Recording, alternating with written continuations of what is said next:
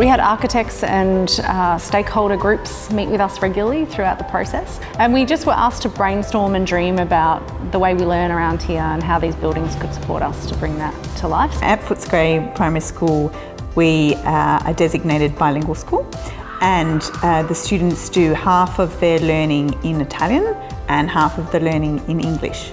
And the idea is that um, throughout the day they might spend some time in the Italian space and then they'll be transitioning, moving through into the English space. Our school is used for the community all the time, so we leave our gate open on the weekends um, and our grounds are used as green space. Uh, so it was important to keep the green space. But we also have um, a new court coming that we've decided to not put walls on. So rather than a gymnasium locked off to the community, we've got a covered court area. Uh, so the community can come in out of hours and use that.